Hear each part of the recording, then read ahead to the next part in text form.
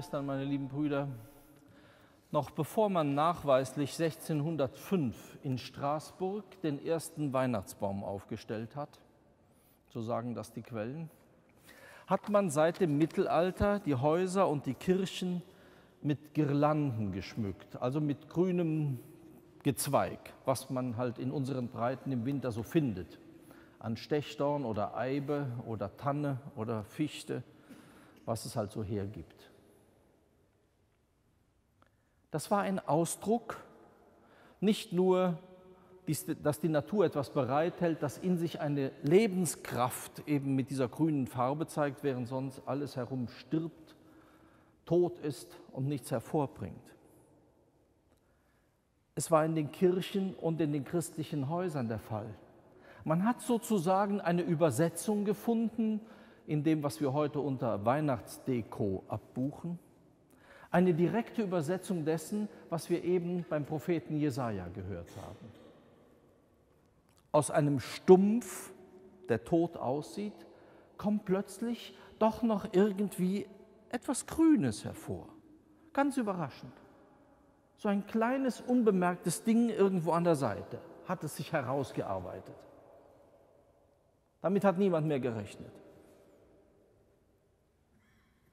So sieht der Prophet Jesaja in seiner Zeit dieses, diese Situation, eine politisch vollkommen verfahrene Situation, ein, wir würden heute sagen, ein Staat in Auflösung, ohne Struktur, das Könighaus David, dieses hochgepriesene, vielleicht mit einem ganz schicken Anfang, ist vollkommen aus den Bahnen geraten, die gibt es gar nicht mehr, abgehauen, wie ein abgeholzter Baum. Schluss. Und genau aus diesem toten Baumstumpf kommt plötzlich ein Trieb hervor. Und wir wissen aus der Geschichte, liebe Schwestern und Brüder, dass sich das in der Geschichte Israels nicht wieder bewahrheitet hat. Mit dem Davidshaus war es zu Ende. Spätestens seit der babylonischen Gefangenschaft sind sie sozusagen nicht mehr auf die Füße gekommen. Natürlich ist diese Familie irgendwie weitergegangen. Wir als Christen lesen diese Stelle im Advent weil wir sagen, ja, es gibt diesen Nachkommen Davids, ganz überraschend, womit niemand gerechnet hat. Es gibt diesen Nachkommen Davids. Das Neue Testament ist voll davon, wie es diese Stellen über David, die Psalmen, die Königsgeschichte von Christus her versteht. Aber ist das nicht dann eine verkehrte Welt? Wenn wir diese schöne Verheißung bei Jesaja hören und dann schlagen wir das Neue Testament heute auf und im Evangelium geht es auch um die Bäume, auch um die Triebe. Aber da haben wir das umgekehrt. Es wird die Axt an die Wurzel gelegt, sagt diese komische asketische Figur in der Wüste. Johannes heißt er. Warum? Wozu schon wieder die Axt? Jetzt sind wir so froh um diesen Trieb, der da sich hervorgearbeitet hat. Dann kommt er schon wieder mit, mit, mit so einem Gerät an und macht uns das alles kaputt. Wenn wir dieses Evangelium ernst nehmen, liebe Schwestern und Brüder, macht er uns den ganzen schönen Advent kaputt. Die, die ganze Weihnachtsdeko ist für einen Mülleimer. Das ist schon wieder so unbequem. Schlangenbrut gehört nicht zu den Kosenamen, Sie wissen das. Wie bringen wir beides zusammen? Johannes nimmt Stellung in seiner Einöde in der Wüste, zu der manche hinausziehen, wie das heute auch so ist. Manche aus Neugier, manche aus Überzeugung und manche bleiben weg. Als er das Establishment sieht, da kommt er richtig in Fahrt. Also jene, die sich in Jerusalem sozusagen ganz breit gemacht haben. Die sagen, wir verwalten das hier alles, wir haben da so ein System und in dem funktioniert alles. Da greift Johannes zu Worten, die wirklich nicht besonders charmant sind, sagen wir es einmal so. Johannes versteht sich ganz von diesem Propheten Jesaja her.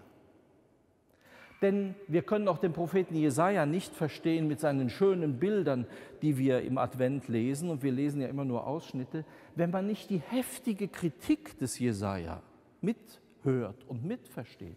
Das beginnt gleich in den ersten Versen. Euer Weihrauch kotzt mich an, das Geplärr eurer Lieder hängt mir zum Hals raus. Wer hat von euch verlangt, dass ihr meine Kirchen, heißt es damals nicht, aber meine Vorhöfe zertrampelt? Auch nicht schön. Für Jesaja sind es immer wieder die hohen Bäume, die Riesenwälder, die sich im Gegensatz zu der schönen, entfaltenden Schöpfung, wie Gott sie am Anfang gesetzt hat mit einem Garten. Für ihn sind die hohen Bäume Zeichen menschlicher Überheblichkeit. Und auch Jesaja kennt dieses Bild, dass diese Bäume, die Zedern des Libanon, die ihre Wipfel so hoch hinausrecken, gefällt werden. Das wird eine Wüste werden, sagt er.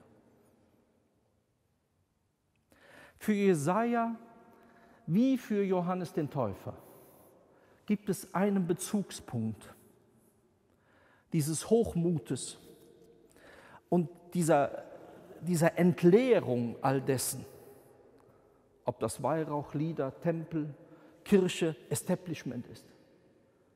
Es ist, wenn man seine Rechnung ohne Gott macht.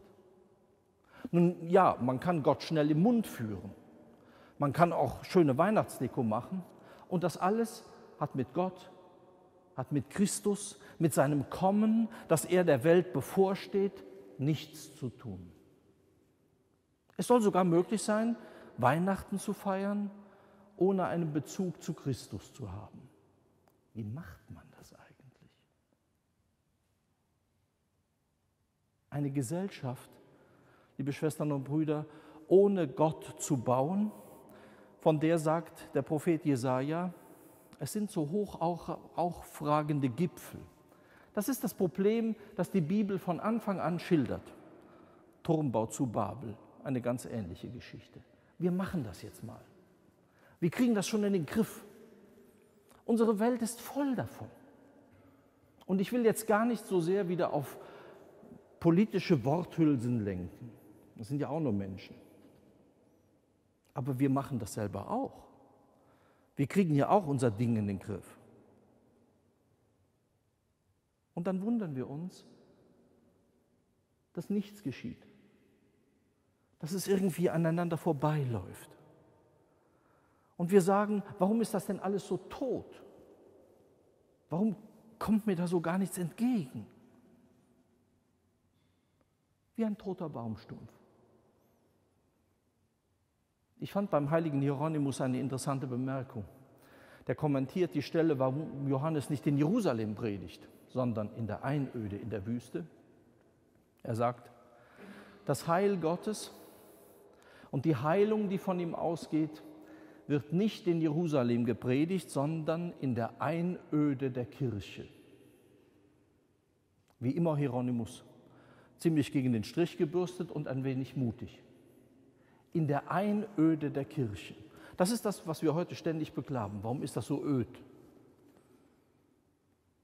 Es ist die Einöde der Kirche, die wir brauchen, um das Eigentliche wieder zu sehen. Um die Botschaft des Jesaja, die Botschaft der grünen Zweige und schließlich auch die Botschaft des Christbaums wieder zu verstehen. Dass es einen Trieb gibt aus allem Totgesagten und Totgeglaubten, und das ist Christus. Allein Christus. Und von ihm kommt alles her und von ihm geht alles aus. Papst Franziskus hat dieser Tage seinen Vorgänger zitiert und gesagt, ihm beeindrucke immer dieser Satz, den Benedikt einmal gesagt hat, dass christlicher Glaube keine Idee ist, keine Theorie, kein System, sondern eine Begegnung. Eine Begegnung.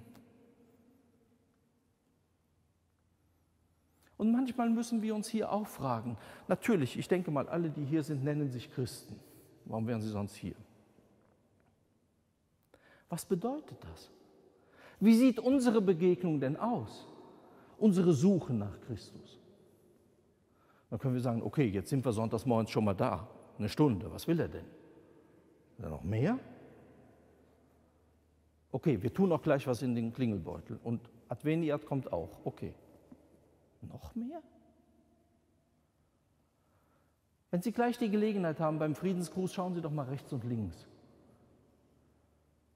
Auch das, sagt uns die Botschaft des Neuen Testamentes, ist Begegnung mit Christus. Auch mit Leuten, mit denen wir noch nie was zu tun hatten, die wir vielleicht gar nicht kennen. Das ist Christus, die Einöde der Kirche. Das sind nicht alles die tollen Typen. Das sind nicht die, denen alle hinterherlaufen. Das sind so normallos wie wir. Manchmal zum Sterben langweilig. Aber auf diese Begegnung käme es an. Etwas anderes haben wir nicht. Das Heil Gottes, sagt Hieronymus, wird in der Einöde der Kirche gepredigt. Auch in unserer Einöde, hier und heute. Und hier können wir es finden. Wir können anfangen zu suchen. Diesen kleinen Trieb zu suchen bei all dem, was so tot erscheint und hoffnungslos. Wahrscheinlich ist es das, was Johannes meint, wenn er uns heute zuruft. Bekehrt euch, denn das Reich Gottes ist nah.